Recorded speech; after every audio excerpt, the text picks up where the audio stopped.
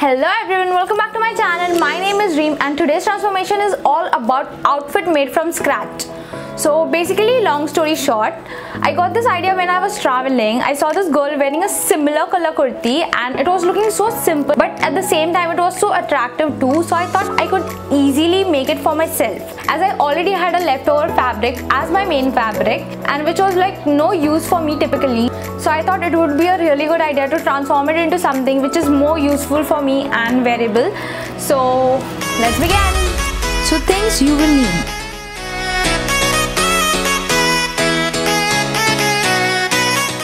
Fold your t-shirt in half and trace it down completely.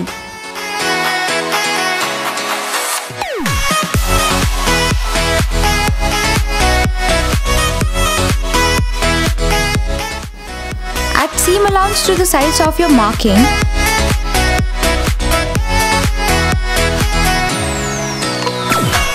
and cut it.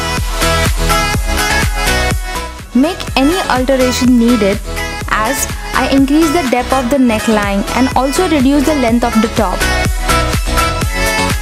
Place it on a lining fabric and trace and cut it out.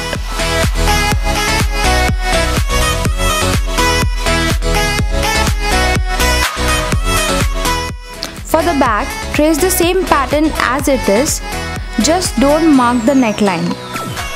Decide how you want your back to be. I just kept a simple U design neckline.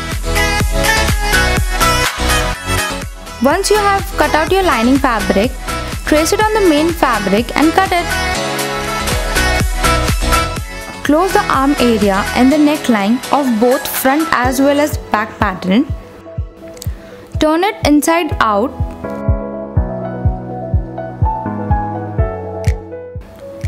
and make small cuts near the curves and iron it.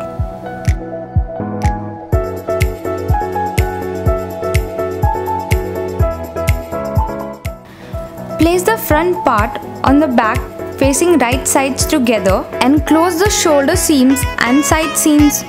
Now for the bottom, hem the sides of remaining fabric by double folding it and close it with the top stitch. On the top, make long hand stitches to gather it according to your waist size.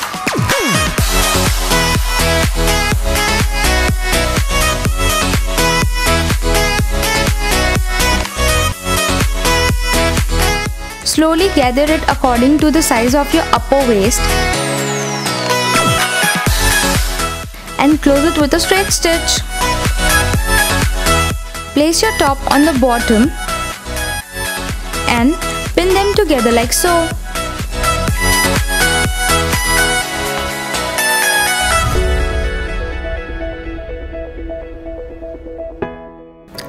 Attach them with a straight stitch. Now for the bottom, hem it by double folding it and close it with the top stitch. And you're done!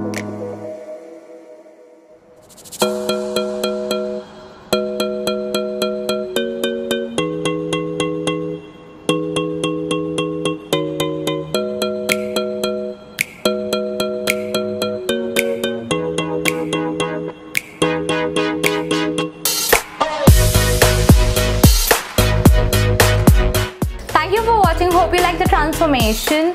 Now this kurti is so simple that you can pair it with so many different things like earrings and rings and neck piece and so much more like as per your liking. And I also hand stitched some T-zones in the middle. Don't forget to like and subscribe to my channel for lots more fashion transformations and also to follow me on my Instagram and Facebook and until next time!